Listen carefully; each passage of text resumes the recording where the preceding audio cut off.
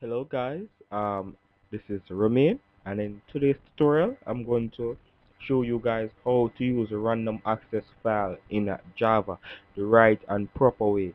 I know everyone is crazy about this section in Java but I'm going to try to make it as simple as possible. So you will need three classes, a record class, a collect info class and an access file class so basically the record class is the class which we'll want to store to the file. So we will create an object of this class and store it to a file. So I have already typed this code already. So I'm just going to explain it to you guys so you understand it. I'm also going to leave a copy of this project in the description below so you can download it and analyze it, reverse engineer it, whatever you guys want to do with it, okay? So um, here we have an integer, we have an array of characters, item name, description, size, and a scanner. Now I'm going to explain why I did this and um, later. So right here we have a public, a private void write fixed length string class. Basically, with what this method does is that um, whenever we collect a user input, this class will validate if that um, input, if that string input is okay to be written to the file. So basically, in the parameter array, we have um, a character array so we have a string variable value and an int which is size. We have a counter variable and we have length which is the length of the string. So this is what we are going to use to determine the length of the string. So the value which is the string dot length which is which will give us the length of the string. So right here if the string is less than size we will want let length be equal to this. Basically, this question mark means it's a wild card. It's like an else. So if value dot length is less than size, we'll want to let length be equal to value length be equal to length. If not, if value length is greater than size, we'll want to reduce the size of of the input by the user. So for instance, if you input Romain and the file was only to take um five characters for Romain, you know you will left off the en and write it to the file, which we won't want that.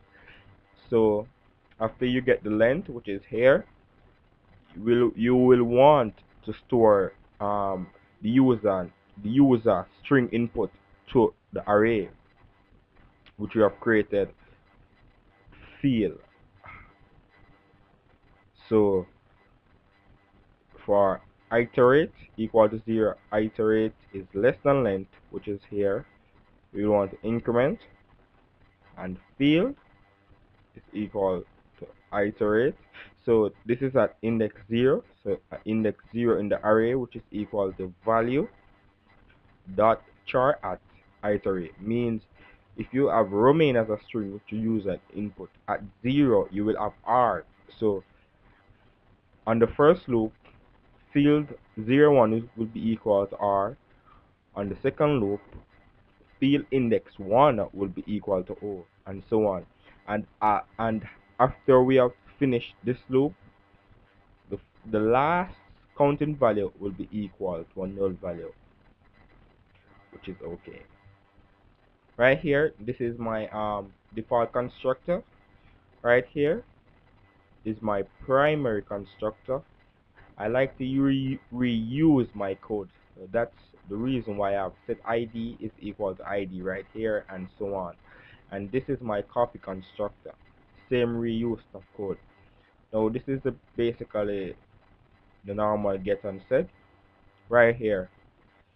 You guys know that um int name is an array an array of characters. So to get it back public string get id name return new string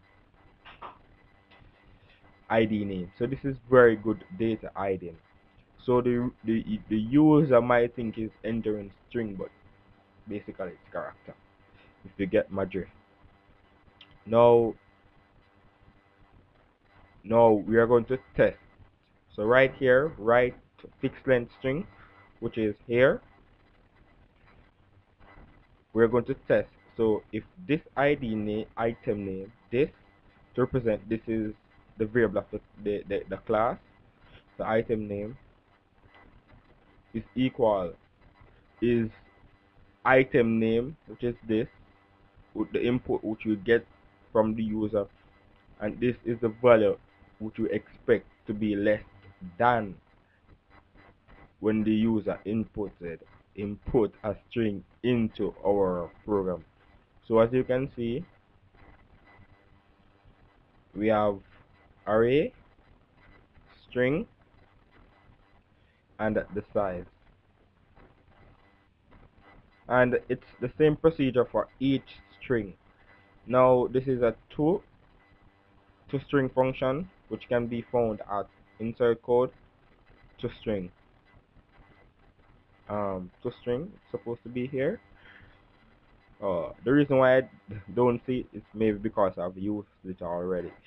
So to string turns all the methods into a string to be displayed to the main class. So collect info. This is where I will want to collect the info from the user it will all make sense in due time guys. Don't worry.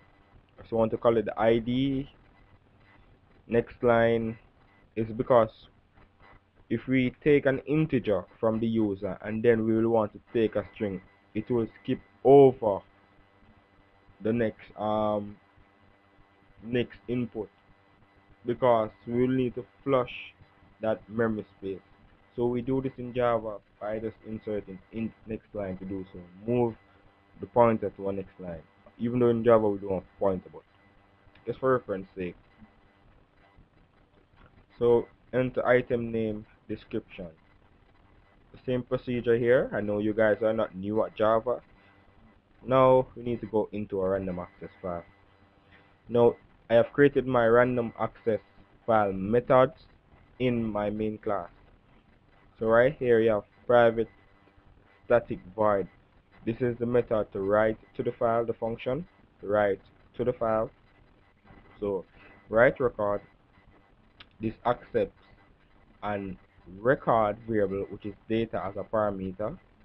We have created a new file object which is file which we initialize to null. And right here which we have file is equal to new random access file which is which is equal to a new file which is equal to this. What we're doing right here is creating a new file. We're creating a new record and RW is the writing mode. So rewrite mode. Right here where we have dot seek um, bracket data that get ID minus 500 times record size. Basically what this is saying is that this is where our file will be located right here. This is where we'll, we will want to store our object that we are storing to that file in a particular location. So basically the ID we're going to get the ID from the record area. So data that get ID minus the offset. So basically the offset is like if you have a range of ID numbers from 500 to 1000 you know that you won't want to give an use an ID number like 450 because that will give us an off key value. So so we want to um, divide the 500 by the ID number and times it by the record that size which is right here that we have created this is because we want to give each object its own unique address on the file. So right here we have file dot write data get data ID which is how which is here and write UTF which is um an encoder for string UTF so you guys just look at the code and um you will catch on eventually. Now in the finally block we have if file is not equal to null try to close the file. If the file doesn't close throw an exception. Now this is the method which we'll use to read from the file. So it will take in an integer in its parameter. We'll want to um, create a random access file object which will initialize to null. We'll also want to create a record class variable which is data which will also be equal to null. So what you can do you can copy this code from here and paste it here to avoid any errors. And the file seek it does the same thing. The ID number it will search the file for that position. Now we have created some variables right here to store um, the information that we will be reading from the file. And notice we read in the same order which we have stored to the file. If you try to do otherwise you will get an error or your file will return null. And I'm, I'm sure you don't want that you don't want that to happen. So um read the record back in the same order. So id string string description id number id so read int read utf meaning string. And then data object we have data variable for the record class which you have created which will be equal to data which is equal to new record. And we will store each of these variables into the record class. Now we will also want to return it because here we have record to, rec to return read record. Now in our main class where we have collect info this, which is this class which we have collect which we use to collect the information from the user the accept function method which is here.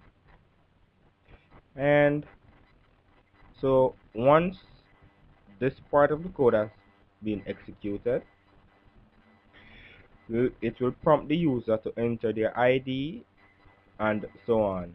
Once you have done that you will want to store what they have that what you have got from the user into the record class. So we do this by record so is equal to new record col dot get id which is the id get item name get description we want to write back this object to the file.